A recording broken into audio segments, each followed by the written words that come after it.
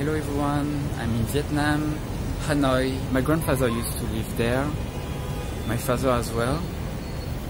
Mm, it's very hot